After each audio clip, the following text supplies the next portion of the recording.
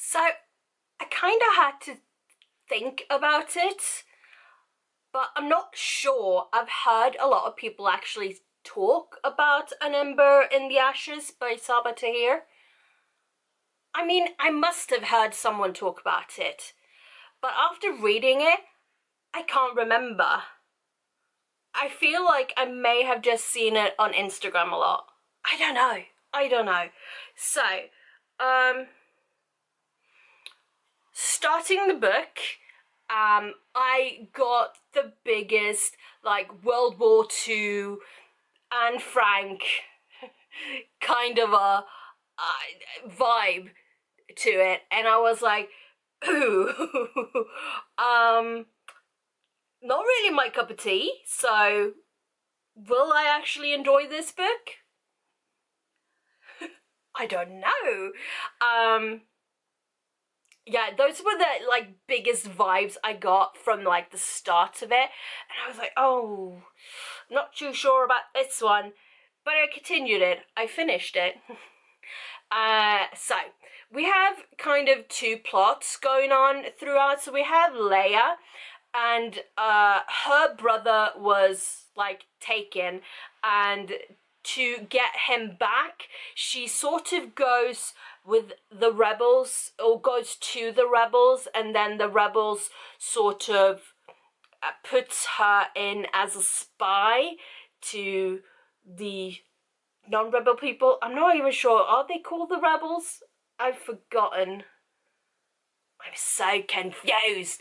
Um, we're calling him that for now. And then we have Elias, and he's one of the non-rebel people. He's basically, uh, I think they were called like the mask or something. They have like a mask they put on these people, and then they sort of like go around and kill people just because they can. Confusion. Um, but he's not really okay with it. So he's um I guess in school and and he's he's not really learning to kill people, but he's training to kill people basically.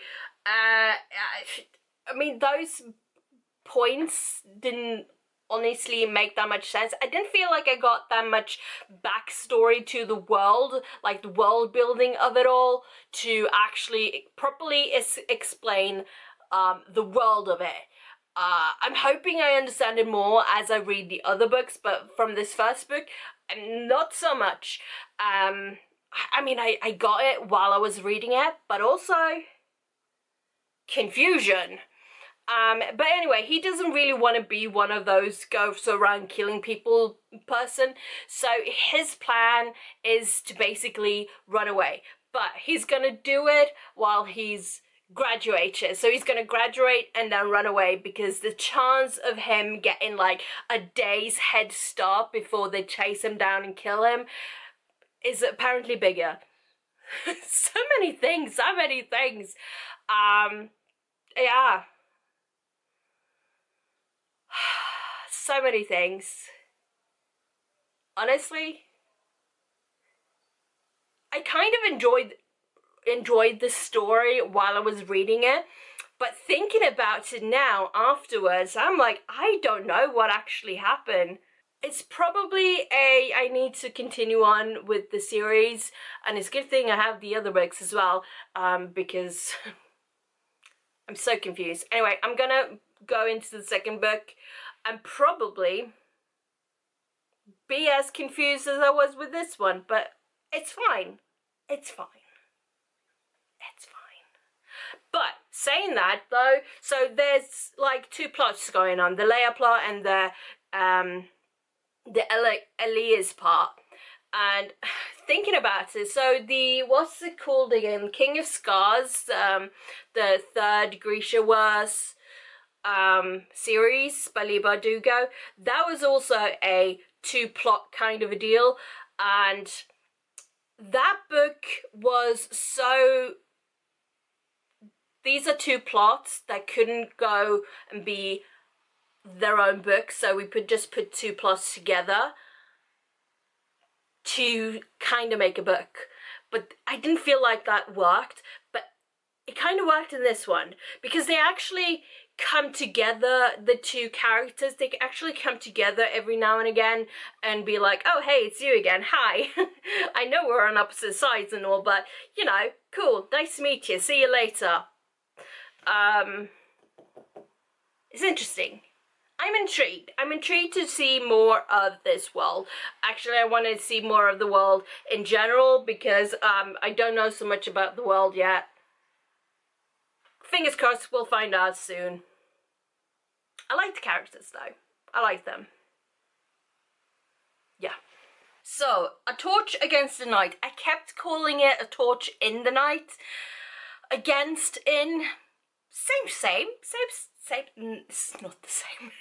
it's definitely not the same. Um, so, second book. I kind of want to give it that second book syndrome thing, middle book syndrome. Um, we have two more books left, uh, but because it feels like not a lot happened. I mean, it did and it didn't. I did, I did, it did and did. Blah blah blah blah. So, um, from coming from book one, I I like how I go like off camera thing. Coming from book one, I don't have the book. Uh, I've returned it. So coming from book one, Elias and Laia are now on the run. Because that that's what happens when you upset people in power. you go on the run. Um, but Laia is still like um, determined to get her brother out of prison. Um, her brother, who, by the way, the information on him keeps going like, oh, he's in this prison, he's in that prison, he's in here, and he's he's not alive anymore. He is alive. The confusion of the information. Come on, come on. Literally, you cannot trust anyone who gives gives you any information in this book. Yeah. Um, so yeah, Laia is determined to get him out. Of course, it was what she started in book one, so why should she just give that up? And Elias is, well, he's like, well, he wants to help her to any cost, for any cost, to any cost, one of those. Um, and then we have a third perspective in this book, so uh, Elias's best friend from like growing up his whole life, Helen, um, she she's now been tasked to hunt down Elias and Laia and kill them. I mean, she doesn't wanna because it is still her best friend, but at the same time, she kinda has to because she has no other choice. so among that, um, she has a whole different kind of blah blah blah going on so it's not like she actually has time to do the tasks that she's forced to do by the new emperor. Emperor? Yeah, he's an emperor. So yeah, basically there's a lot of going, running back and forth and not really any progression. However, there was enough like backstabbing and intrigue to keep me going, but still was it enough? I don't know yet. I don't know.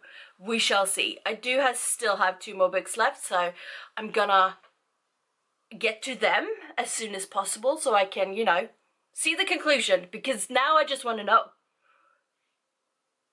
I finished this book about two days ago now and I'm still debating on what to actually say about it. But I need to return it to the library so the only thing I can think of to say about this book without, you know, saying all the things, literally all the things from page one to however, however many pages there are, from front to end, front to back. So the only thing I can think of to say is, picture this, a long-running TV series, a fantasy-based TV series, where you have popular characters, maybe not so popular characters, mostly popular characters, uh, and super popular characters. And then popular actors and not so popular actors. Not unlikable, but still. So picture that. It's a long running show, and for some reason, they have this popular character that the plot just happens to kill. But because it's such a popular character, they find a way to bring this character back.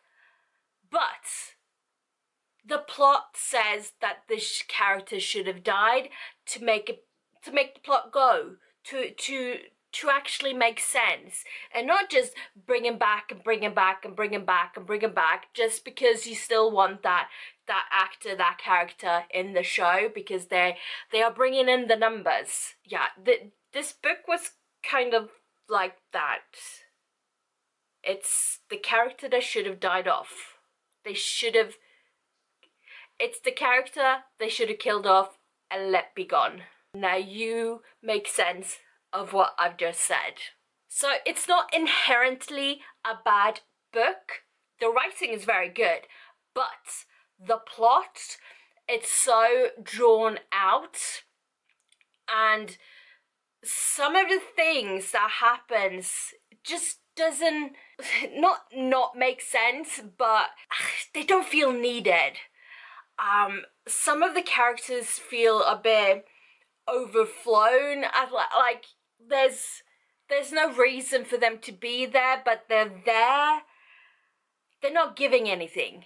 That's what I'm trying to say. They're not giving anything. yeah. Mm. Mm-hmm. Mm-hmm. Yeah, that's my take.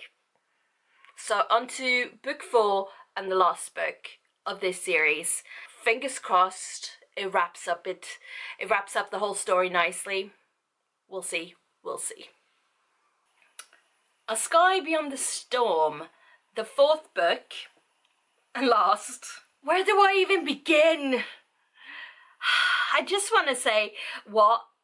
What? What even is this? What is this? Oh, good God.